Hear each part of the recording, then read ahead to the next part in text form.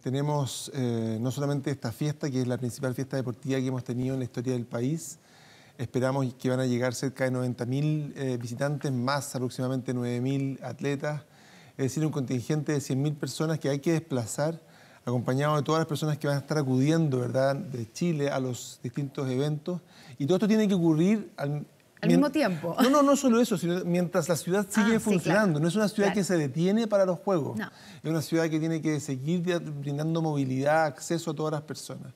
Eh, y lo que estamos definiendo y hemos venido trabajando de hace varios meses, por supuesto, con el Ministerio del Deporte, tratando de entender bien cómo está configurado los distintos eventos, cuáles son las necesidades de movilidad. Además, hay cosas importantes, que es que no siempre los deportistas se, tienen que, se, pueden mover eh, en modo de transporte público, sino que a veces que hay que hacerles eh, movimientos que son especiales, en fin es sofisticado, pero yo creo que estamos bien preparados. ¿Cuántos, eh, eh, ¿Existe el cálculo de cuántos autos se van a sumar al tránsito normal de Santiago? Estamos, tratando de que más Un aproximado. estamos tratando de que el foco sea en transporte público. Ya. Eh, tenemos la suerte de, por una parte, tener Cerrillos, Estadio Nacional conectados por la línea 6. Es una, es una muy buena coincidencia. Permite que ese, ese movimiento entre, por ejemplo, la Villa Olímpica y el Estadio Nacional, en algunos casos se puede usar el metro.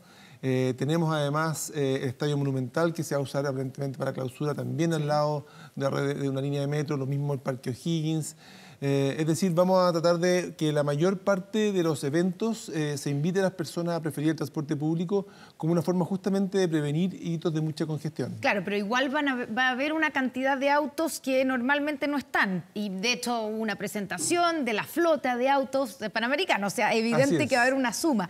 y ese, ahí existe ese cálculo de cuánto va a aumentar eh, o, cuánto podría aumentar la congestión vehicular? nosotros, eh, lo que nosotros vemos es Más allá de que la intención sea que lo menos posible, me imagino. La, pero... la, invitación es sobre todo cuando hay eventos eh, a los cuales la, gente, la, gente que me escucha, ¿verdad?, quiere asistir, que eviten el automóvil. Cuando tenemos muchas personas que quieren ir llegando a los mismos lugares al mismo tiempo, la verdad que si llegamos en automóvil es la perfecta receta para un desastre de congestión importante.